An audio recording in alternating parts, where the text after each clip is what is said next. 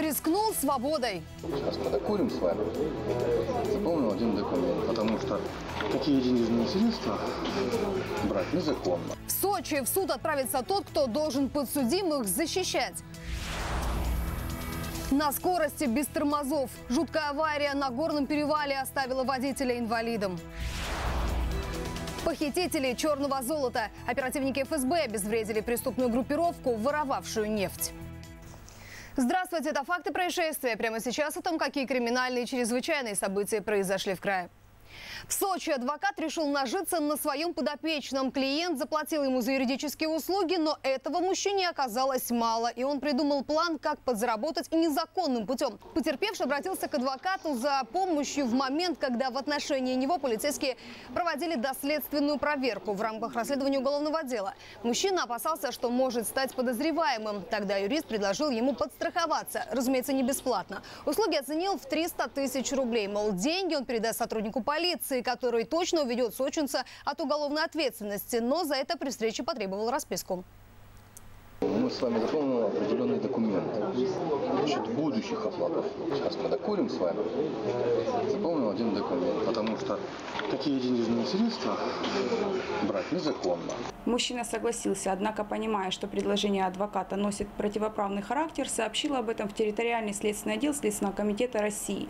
После получения денежных средств дальнейшие действия злоумышленника были пресечены оперативными сотрудниками управления ФСБ по краю. Следствием собрана достаточная доказательственная база, в связи с чем уголовное дело с утвержденным обвинительным заключением направлено в суд для рассмотрения по существу.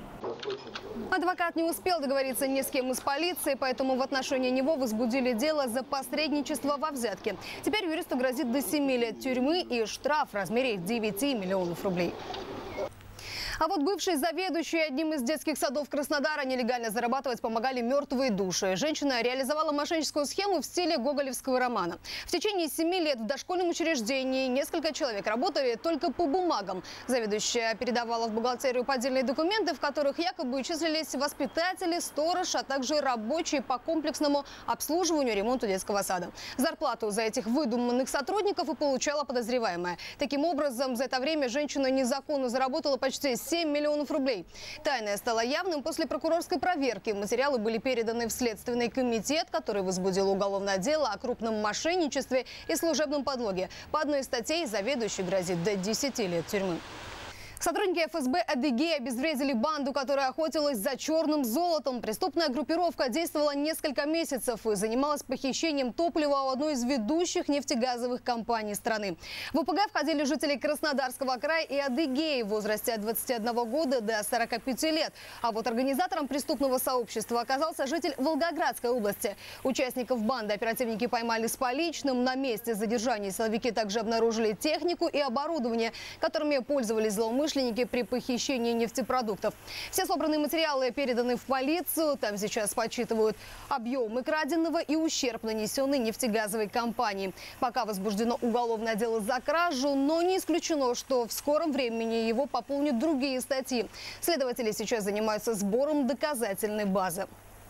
Затянутые сроки по оплате выполненных работ районными властями, нарушение земельного законодательства и давление со стороны контролирующих органов. С такими жалобами кубанские бизнесмены обратились к прокурору края.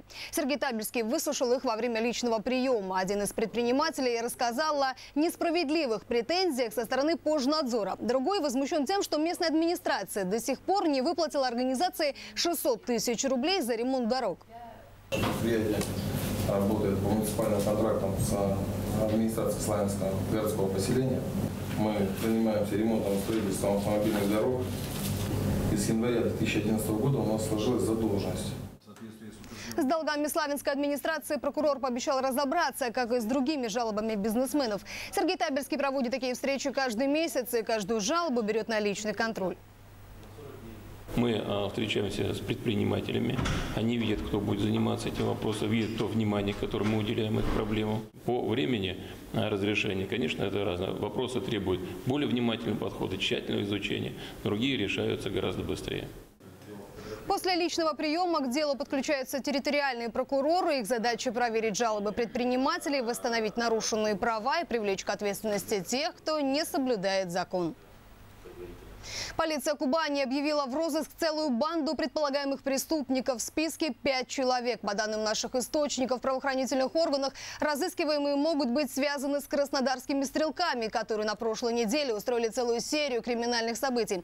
Итак, вот фотографии имена подозреваемых. Сергей Сапелкин из Кропоткина, Никита Клевцов из Краснодара, Александр Лобас из Коневского района, а также двое жителей Новороссийска – Иван Львов и Кирилл Донченко. Их подозревают в совершении особо тяжких преступлений. Любая информация об этих лицах может быть полезна следствию. Если вам что-то известно об этих молодых людях, полицейские просят позвонить по телефонам, указанным на экране. Жуткое ДТП под Сочи. В соцсетях появилось видео аварии с участием многотонника на Мамайском перевале. Она произошла еще 2 сентября. На кадрах, снятых камерами наблюдения, видно, как длинномер, груженный арматурой, на повороте переворачивается на бок, врезается в бетонное дорожное ограждение и улетает в кювет. От удара водитель выпал из машины, но чудом выжил, хотя остался инвалидом, говорят его знакомые в соцсетях. Тормоза отказали у него. Он завалил специально его. Но не повезло. Завалил потому, что впереди отбойник. Так он хоть напарника спас и не убил никого, и сам выжил. Руку и ногу отрезали. Ребенку года три. И сегодня же в интернете появилось еще одно видео автокатастрофы, которую устроил грузовик. Видеорегистратор запечатлел момент столкновения фуры с легковушками в Воронежской области. Многотонник на трассе протаранил более 30 автомобилей. На кадрах видно, как он сносит машины одну за другой, а после начинает гореть. ДТП, напомню, произошло пару дней назад. По данным полиции, за рулем фуры сидел житель Кубани. По предварительной версии, у многотонника отказали тормозам. После столкновения на протяжении почти километра обе полосы были усеяны разбитыми легковыми машинами. Три пострадавшие легковушки сгорели. В этой жуткой аварии, к счастью, никто не погиб, но с травмами были госпитализированы четверо взрослых и одна пятилетняя девочка.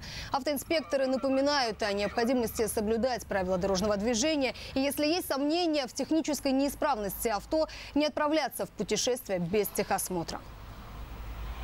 Очередное ДТП с участием пешехода произошло в Сочи. Девушка попала под колеса мотоцикла. Момент столкновения запечатлел видеорегистратор машины, которая остановилась перед зеброй, чтобы пропустить пешехода.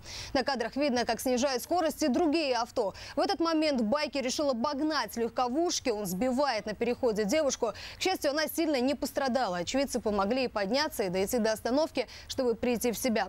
Напомню, что накануне ночью в Сочи произошел похожий случай, но на этот раз виноват был пешеход. 26-летний парень переходил дорогу в неположенном месте. Водитель иномарки в темноте заметил его слишком поздно и не успел остановиться. Молодой человек погиб на месте. Несколько ДТП, но, к счастью, не таких страшных были замечены на дорогах Краснодара. Александра Проскурина расскажет.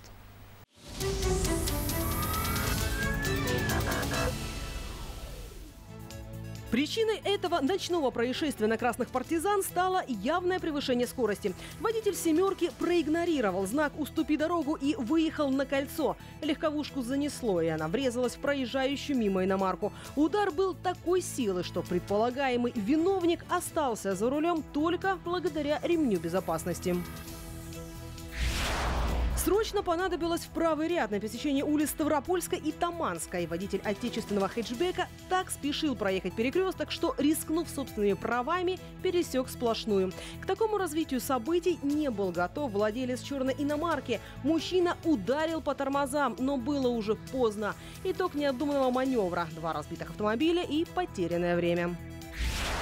Уступала дорогу и никак не ожидала стать участником ДТП. На кольце Красных партизан и Лукьяненко столкнулись малолитражка и японская иномарка. Водитель последний, по-видимому, так торопился, что сократил дистанцию между машинами до минимальной. В этой аварии помощь инспектора не понадобилась. Повреждения оказались незначительными, и автомобилисты решили договориться на месте.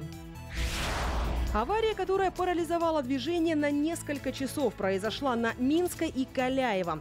Там из-за несоблюдения дистанции столкнулись Приора и корейская малолитражка. Одна из двух полос для движения оказалась перекрыта. Чтобы объехать горе водителей, другим участникам движения пришлось набраться терпением. Поспешишь, виновником ДТП станешь. Так и произошло на улице Ставропольской. Водитель «Лады» не обратил внимания на то, что перед ним образовался затор и врезался в иномарку. Серьезных травм автомобилисты не получили, как, впрочем, и их машины. Выезд с парковки, который привел к серьезному затору. ДТП произошло на улице Сормовской. Владелец фургона сдавал назад и не учел интенсивность потока. И в конечном итоге зацепил проезжающую мимо иномарку. А у меня на этом все. Эфир Кубань-24 продолжит факты. Я с вами прощаюсь. Увидимся.